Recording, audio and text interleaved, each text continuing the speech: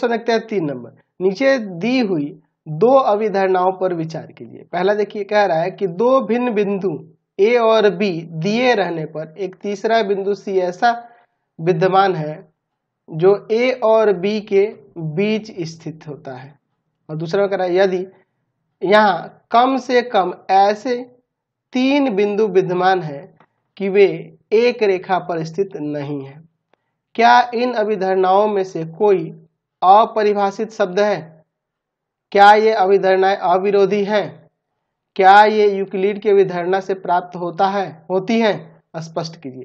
तो हम लोग देख रहे हैं कि यहाँ कह रहा है दो भिन्न बिंदु ए और बी दिए रहने पर एक तीसरा बिंदु सी ऐसे विद्यमान है जो ए और बी के बीच स्थित है। लेकिन ए और बी में क्या रिलेशन है ये नहीं दिखा रखा ठीक है?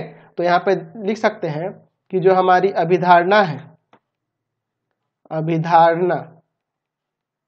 अभिधारणा एक जो हो रही है, अभिधारणा एक में ए और बी के बीच ए और बी के बीच पूर्णतः या पूर्णतः परिभाषित नहीं है। परिभाषित नहीं है। है ना? ए और बी के बीच ये जो लिखा हुआ है पूरी तरह से परिभाषित कहाँ है? कुछ परिभाषित ही नहीं है। यानी ए और बी के बीच में कैसा संबंध है, ऐसा कुछ परिभाषित नहीं है। इसलिए यहाँ लिख सकते हैं कि ये अभिधारणा अभिधारणा, ये अभिधारणा अविरोधी है।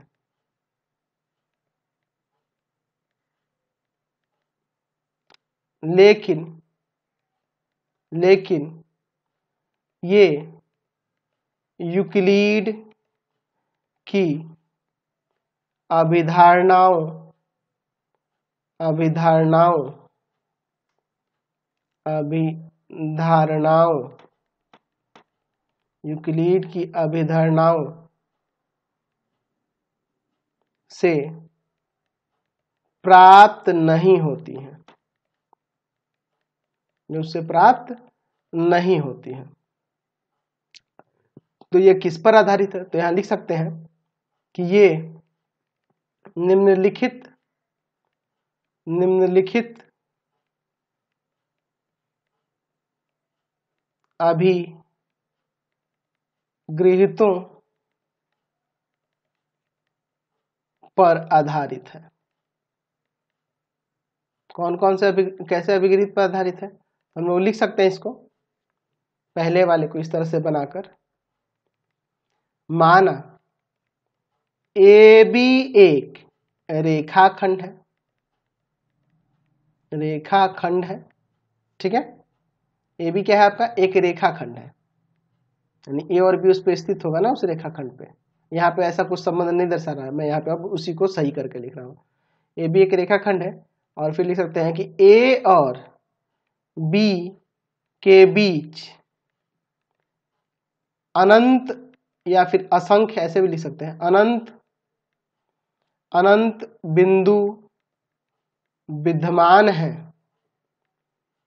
विद्यमान है। इनमें से इनमें से किसी भी बिंदु सी को, किसी भी बिंदु सी को, है ना? उसके बीच एक बिंदु सी है ना? जी। तो किसी भी बिंदु सी को चुनने पर वह ए और बी के बीच स्थित है। बीच स्थित है। ऐसे हम लोग यहाँ लिख सकते हैं। अच्छा सेकंड